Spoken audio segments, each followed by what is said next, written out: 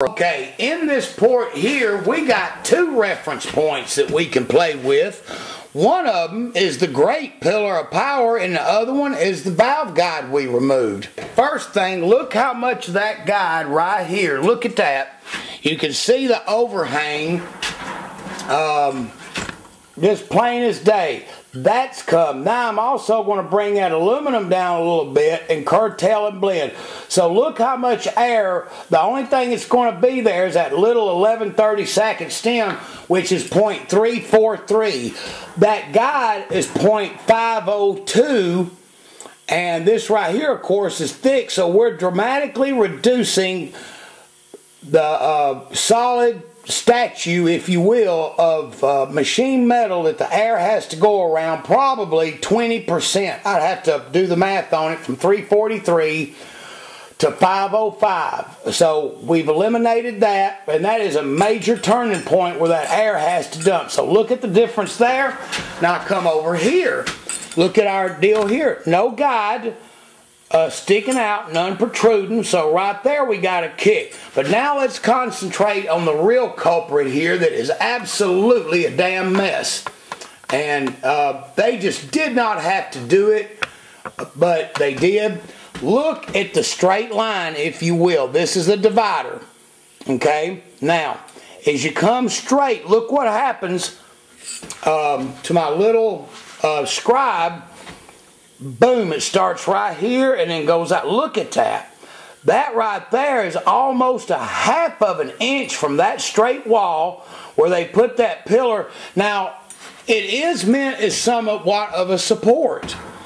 Um, well, I've seen situations, and at first it scared me when I did my first set, but I have successfully tubed probably 20 pairs of these heads and have never had any problem with the support what they used to do on the 18 degree head, they were after this area so bad because this is a major airflow area because if you measure from right here to the shortest point, which is the short turn on the seat, this is the area right here that is the uh, line of sight is the shortest point from point A to the valve seat at point B.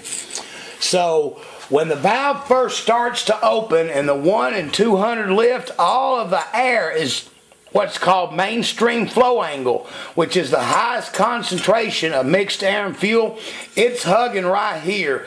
Then as the valve lifts, it starts to switch and go the other direction to area that's unshrouded because it's hunting for the path of least resistance. Okay? We got this giant hump here right in the way. Now, this is the one single reason why on most of the aftermarket heads, I can take a, a double hump head or a head like this or any of them, and no matter what CNC program that these people are putting their heads through, because that hump is in the way or they haven't put the tube in it, I'm going to have about a 10 to 15, sometimes 20 CFM advantage because they're not going to purposely break through and put a tube because that is a machining process process. And remember, these companies are all about getting it in and getting it out as fast as they can. That also means that human hands would have to be involved. They can't automatically put epoxy in, put the tube in. At least I don't know yet that they can do it. So this gives us a distinct advantage. Uh, one of my people or one of my readers posted something on, uh, I believe it was my LT1 site, getting in an argument with me about velocities.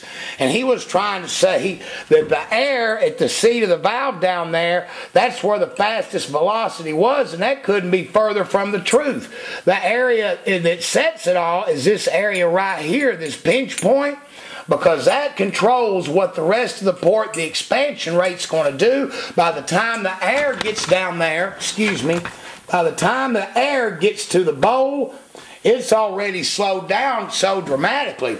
So anyway, um, sorry that you had a misconception there. I'm trying to straighten you out.